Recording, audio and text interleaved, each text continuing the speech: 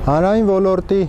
ընդունված սահմանումը կամ բնորոշումը դասական դարձած Յուրգեն Հաբերմասի բնորոշումն է, կարճ ասած, ընդհանուր կարծիքի ձևավորման տիրույթ։ Այս դասական սահմանման համաձայն հանրային ոլորտը նոր քաղաքաբնակ դասակարգի կամ բուրժուական դասակարգի ինքնասահմանման եւ գործունեության ամենակարևոր տիրույթն է, որովհետեւ իրենից ներկայացնում է հեղափոխական տարբերություն կարծիքի ձևավորման միահեծան սկզբունքներից մասնավորապես եթե դա համարենք ֆեոդալը, համարենք թակավորը, համարենք եկեղեցին։ Ուրեմն ընդհանուր կարծիքի ձևավորման հնարավորությունը իսկ փաստորեն եկավ փոխելու հասարակարգ երբ որ մարդիկ կարողացան ունենան հնարավորություններ, որտեղ բանակցելով իրենք կարող են գալ ընդհանուր հայտարարի, այս դրությունը իրենով նշեց հասարակական էական փոփոխություն այստեղ կատեգորիաներ են առաջ գալիս, որոնք դառնում են առանցքային։ Առաջինը ինքնավարությունն է, որ հնարավոր է հասարակական կոնտեքստում ունենալ ինքնավար տիրույթ մի տիրույթ, որը չի ենթարկվում մի կողմից պետության, մյուս կողմից բիզնեսի, ուրեմն շահերին։ Ինքնավարությունը դարձավ առանցքային հասկացություն, որով էլ այս դասական հանրային ոլորտի կոնցեպտը որոշարկում է տվյալ հասարակության ժողովրդավարական լինելը որքանով տվյալ հասարակությունը հնարավորություն ունի հանրային ոլորտի, այնքանով այդ հասարակությունը համարվում է ժողովրդավարական։ Որքանով տվյալ հասարակության մեջ կան հնարավորություններ, որպեսի տարբեր մարդիկ միանան իրար, զրուցեն, խոսեն, բանավիճեն, քննադատեն մեկ-մեկու եւ ձևավորեն մի կարծիք, որը կիսում է այդ հանրույթը եւ որը տարբեր է պետության կողմից առաջարկվող կարծիքին եւ բիզնեսի կողմից առաջարկվող կարծիքին, այդքանով այդ հասարակությունը ժողովրդավարական։ Երկրորդը դա քննադատականության ուրեմն հասկացությունն է, որը առանցքային է դառնում հանրային ոլորտի համար, որովհետև ստացվում է, որ հանրային ոլորտի մաս կազմող գործորդները իզորու են վարել այնպիսի բանակցություն, որտեղ կարող են բացահայտել մեկը մյուսի արատները, մեկը մյուսի դիրքորոշման բացերը եւ դրանով առաջ գնալ եւ ձևավորել ընդհանուր կարծիք։ Ուրեմն ինքնավարություն, քննադատություն եւ խոսք խոսքն է, որ առանձնացնում է հանրային ոլորտի այս դասական ըմբռնումը։ Այն ըստ էության խոսքի վրա կենտրոնացված խոսքային տիրույթ է, որտեղ տեղի ունենում բանավեճեր, տեղի են ունենում բանակցություններ, գրվում են տեքստեր, Ուրեմն հանրային ոլորտի այս ըմբռնումը, որը ենթադրում է ինքնավարության քննադատության եւ փաստորեն խոսքի այս երեք հիմնարար սկզբունքները, պարտադիր չի որ լինի տարածական Սա ամենակարևոր կետն է հանրային ոլորտը ըմբռնելու առումով։ Հանրային ոլորտը հանրային տարածքը չի։ Հանրային ոլորտը կարող է ենթադրել, կարող է ներառել հանրային տարածք։ Տարածք նկատի ունեմ աշխարհագրականորեն ֆիքսված վայր։ Հանրային ոլորտի մաս է հանրային տարածքը, բայց երբեք ոչ հակառակը։ Հանրային տարածքի մաս չի կարող լինել հանրային ոլորտը։ Երբ որ Հաբերմասը այդ գիրքը իր գրել է, կենտրոնացել է հանրային ոլորտի առաջին դրսևորումների վրա 17-18-րդ դարերի բուրժուական Անգլիայում։ Մասնավորապես դրանք ակումբներն են, թերթերն են, պամֆլետներն են, պամֆլետը դա հատուկ տիպի Անգլիայի մշակույթին հատուկ շատ ուրեմն հրաապարակախոսական մի ձև է, որտեղ ուրեմն ծավալվում է այս ընդհանուր կարծիքի ձևավորման գործընթացը հանրային ոլորտի գաղափարը այս գաղափարը ունեցել է իր հակազդեցությունները բացահայտվել են հանրային ոլորտի այս ըմբռնման մի շարք թերություններ դրա գլխավոր թերություններից մեկը այն է, որ հանրային ոլորտի նման ըմբռնումը ենթադրում է որոշակի, այսպես ասեմ, զարգացվածության ցենզ, որ պետք է ունենան այդ ոլորտի անդամները։ Դրանք պետք է լինեն կրթված մարդիկ, դրանք պետք է լինեն խոսելու ունակ մարդիկ, երկխոսության մեջ իրենց կարծիքը պաշտպանելու հռետորության հնարքներին տիրապետող նաև մարդիկ։ Այսինքն խոսքը գնում է որոշակի խավի մասին։ Ուրեմն հիմնական քննադատություններից մեկը, որը ուղղվել է այս հասկայությանը, այն է, որ բացառական է հանրային ոլորտի այս ըմբռնումը, այսինքն իրենից բացառում է մի շարք խավեր, մի շարք մարդկանց խմբեր, հանրույթներ, որոնք չեն համապատասխանում կրթվածության այն մակարդակին, որտեղ դու կարող ես ունենալ քննադատական բանավեճ եւ պաշտպանել սեփական դիրքերդ այդ բանավեճում։ Ուրեմն, ովքեր են դուրս մնում այս հանրային ոլորտից։ Գյուղացիություն, դուրս են մնում աշխատավոր մարդիկ, բանվորները։ Գլխավորապես ուրեմն հասարակության ստորին շերտերը զբաղեցնող մարդիկ։ Ուրեմն սա կարող են կոչել հանրային ոլորտի այս դասական ըմբռնման դասակարգային, հա, քննադատություն։ Այս քննադատությունը զուգորդվում էր նաև այլ տիպի քննադատությամբ, մասնավորապես սերային որ հանրային ոլորտի այս ըմբռնումը նախ եւ առաջ ենթադրել է տղամարդկանց տղամարդիկ են տվյալ հասարակությունների մեջ ավանդաբար այն մարդիկ եղել, որոնք հասու են եղել ուրեմն կրթությանը եւ կարողացել են գravel հանրային դիրքեր այս տեսակետից հասարակության մի ամբողջ շերտի, հա, իքական սերի ներկայությունը ուրեմն դուրս է մղվել հանրային ոլորտի փաստորեն այս ըմբռնումից։ Դասակարգային քննադատություն, ֆեմինիստական քննադատություն եղել են այս քննադատությունները, եղել են նաև այլ քննադատություններ եւ հիմա էլ կան տարիքային հարց կա, որովհետև ասենք պատանիները միշտ չի որ կարողանում են այդ ռացիոնալ եւ իրար հասկանալու բանավեճի մեջ ներգրավեն, հա, փոխմբռնման բանավեճի մեջ ներգրավեն։ Մի խոսքով եղել են այս հակազդեցությունները, դրանք հիմա էլ կան եւ այդ հակազդեցությունների հետևանքով փոխվել է նաեւ հանրային ոլորտի այս ըմբռնումը։ Այսօր գոնե այն մտավորականների շրջանակում, ովքեր ակտիվորեն մտածում են հանրային ոլորտի մասին, այս դասական ըմբռնումը հանրային ոլորտի այլևս նույնությամբ չի կիրառվում հաշվի է առնված այն քննադատությունները, որի մասին քիչ առաջ ասացի։ Հանրային ոլորտի այս ըմբռնումը եւ դրա քննադատությունները դրանք կազմում են զարգացած արևմտյան երկրների, ուրեմն հասարակությունների ինտեգրալ մասը եւ ըստ էության այդ հասարակությունների որպես ժողովրդավարական հասարակությունների զարգացած լինելու չափանիշն են հանդիսանում։ Ներկայացուցչական ժողովրդավարությունը եւ հանրային ոլորտի դասական ըմբռնումը սերտորեն կապված են իրար հետ։ Երկու դեպքում էլ ենթադրվում են իրավունքներով սահմանված ինքնավար սուբյեկտներ։ Մարդը սահմանվում է որպես որոշակի իրավունքներով օժտված ինքնավար սուբյեկտ, ով ունակ է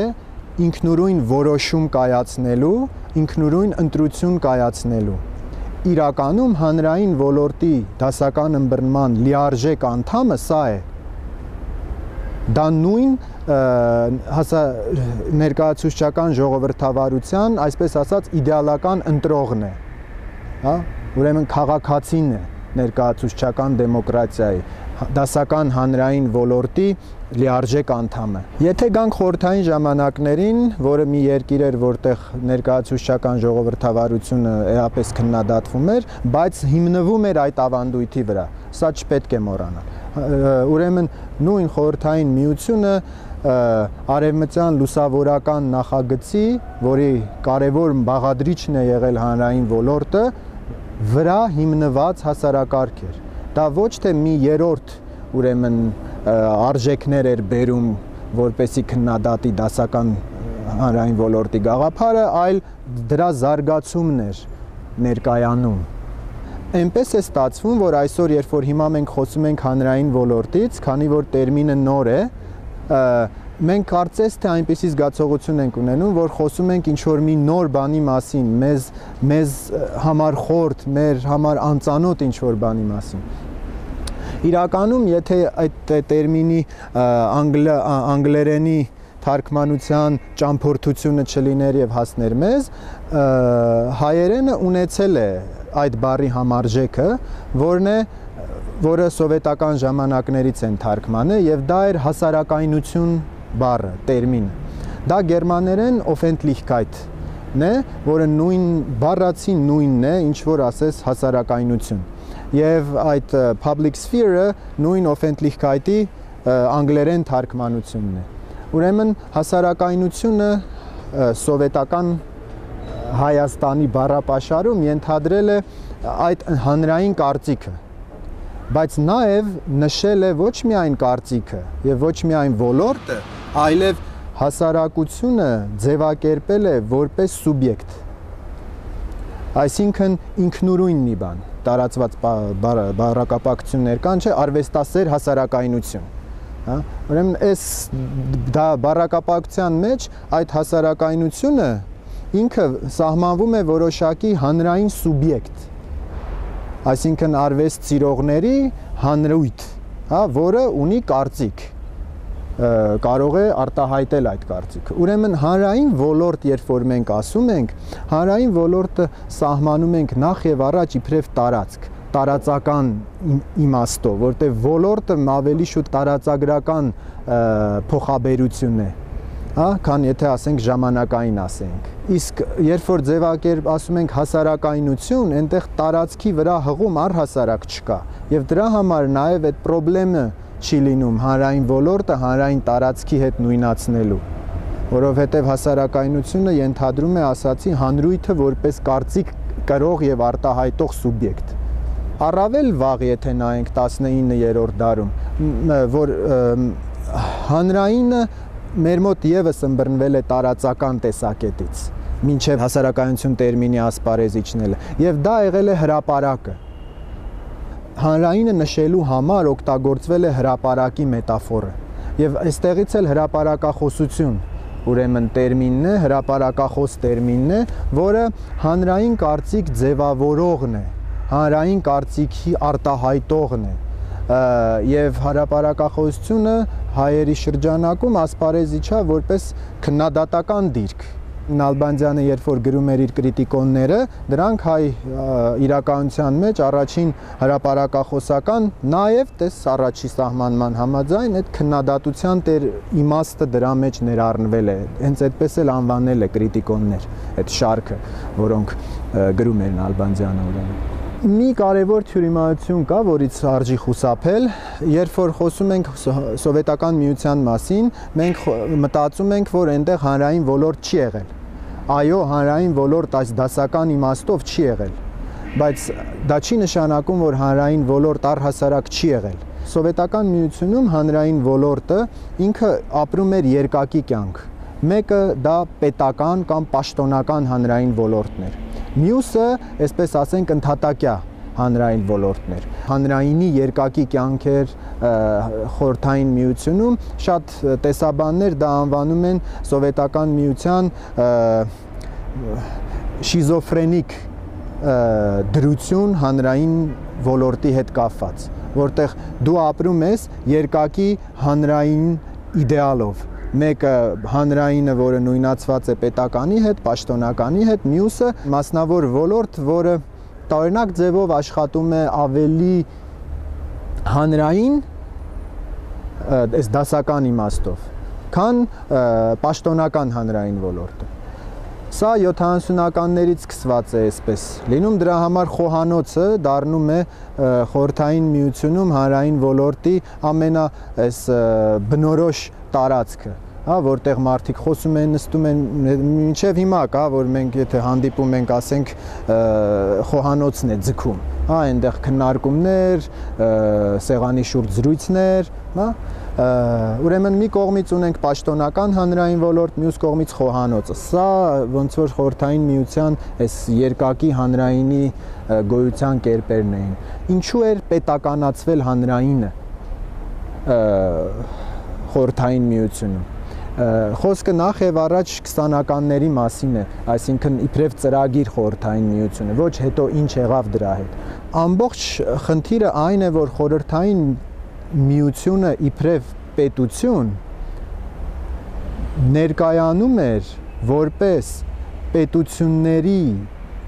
ավարտը նշող պետություն սովետական միությունը հատուկ պետություն էր իր տեսական քաղաքական ծրագրի մեջ նկատի ունեն ոչ թե ինչ եղավ իր ընթացքում Սովետական միությունը կոմունիզմի գրավականն էր աշխարի վրա։ Կոմունիզմը ենթադրում է պետությունների վերացում։ Չի կարող լինել կոմունիզմ, եթե կան պետություններ։ Սա այդ այբուբենն է, հա? Եվ բայց հնարավոր չի պետությունները վերացնել առանց պետության։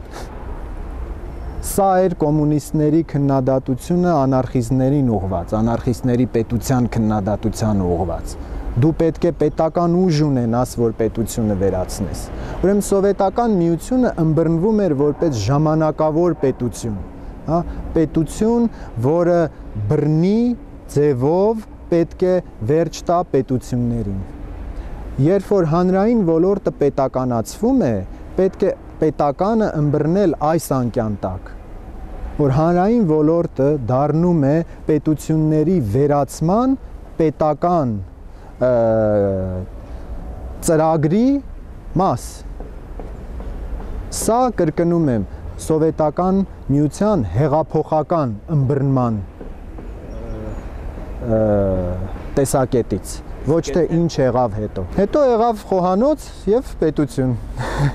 Հետո եղավ այդ շիզոֆրենիկ երկատումը, որի մասին քիչ առաջ ասացի։ Խաղակային հանրային տարածքները մեր Հայաստանի քաղաքների պետականորեն ձևավորված հանրային տարածքներ են։ Սա պետության կողմից հանրային քաղաքականություններ իրականացնելու օրինակ է։ Սովետական պետությունը հանրայինի կարևորման պետություն էր եւ հանրայինը պետական քաղաքականություն էր դարձած։ Սա շատ կարևոր է հիշել, ոչ թե դեմ էր սովետական միությունը հանրայինին, այլ հանրայինը պետական քաղաքականություն էր։ Այդ պատճառով է, որ այս տարածքները կան։